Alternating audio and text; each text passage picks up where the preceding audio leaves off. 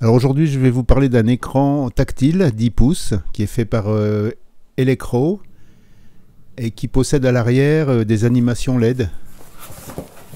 Alors à l'arrivée, le colis est bien emballé, on a de la mousse, euh, on a du papier à bulles. Alors ce qui est toujours sympa chez Elecro, c'est qu'on trouve des goodies. Il y a un petit autocollant.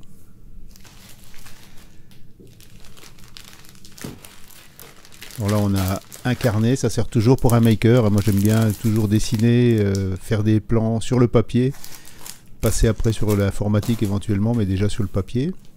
On a des petits autocollants euh, brillants pour, euh, pour décorer quand on fait des montages avec des, des choses à base de chez Electro, et puis un stylo pour écrire sur le bloc.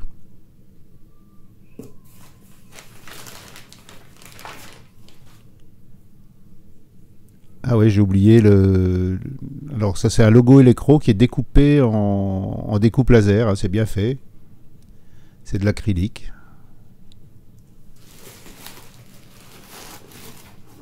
Alors voilà l'écran qui nous intéresse, donc c'est un boîtier en carton très épais.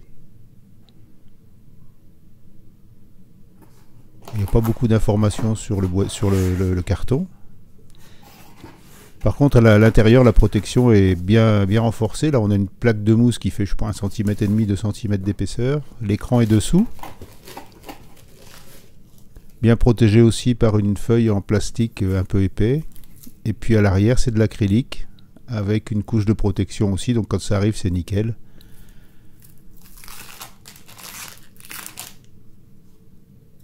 Vous voyez que là, je vais enlever l'acrylique. Dessous, on a une finition piano hein, qui est bien brillante, bien lisse.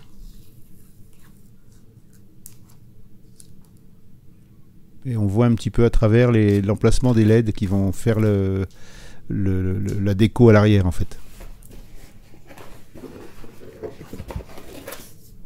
L'écran est protégé par cette mousse et dessous on a un carton. Et dans ce carton on va trouver donc un certain nombre de choses. En particulier tous les câbles. Donc on a le câble HDMI et puis on a les câbles d'alimentation de l'écran et le câble pour emmener la partie tactile sur l'USB. Là, on a les pieds. deux pieds en acrylique découpés au laser aussi, très épais. Hein, ça, fait bien 12 mm, j'ai pas mesuré, mais c'est très épais puis costaud. L'écran tient bien dessus. On a un petit tournevis, ça c'est pour faciliter le montage. On a un adaptateur USB, USB HDMI vers, euh, HDMI euh, micro. Et puis on a ici des entretoises et des vis qui vont permettre de monter à l'arrière de l'écran directement sur les quatre vis qu'on voit là au centre, on va pouvoir monter directement un Raspberry Pi. Donc là, j'ai mis en route euh, l'animation LED. Alors la couleur ressort pas très bien sur, euh, un film comme ça, mais euh, bon, on a, on a 19 types d'animation plus ou moins rapides avec plus ou moins de couleurs. Et puis vous voyez la connexion des prises sur la gauche, là, le HDMI, l'alimentation et puis la, partie tactile. Alors l'écran est tout à fait utilisable, hein. il, a, une, belle définition, un beau contraste.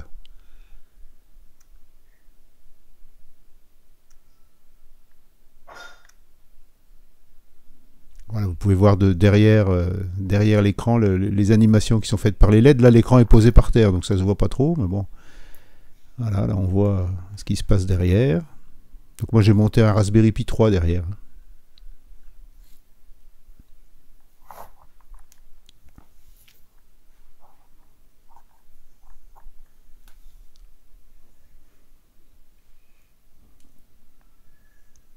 La partie tactile fonctionne. Donc c'est un, tactile capacitif à 5, euh, contacts. Donc on peut faire des, des, actions avec les doigts, avec différents doigts.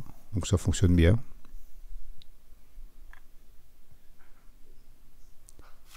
Pareil ici pour les menus.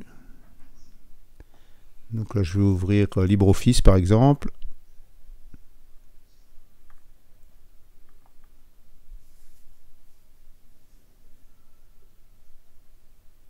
Bah, c'est Raspberry Pi 3, il faut le temps que ça s'ouvre.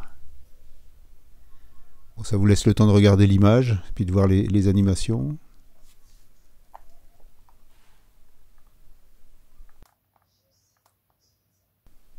Là, on peut, on peut jouer sur la, luminosité. Il y a un bouton qui permet de faire changer la luminosité de l'éclairage arrière de l'écran, donc d'avoir quelque chose de plus ou moins lumineux en fonction de la lumière ambiante.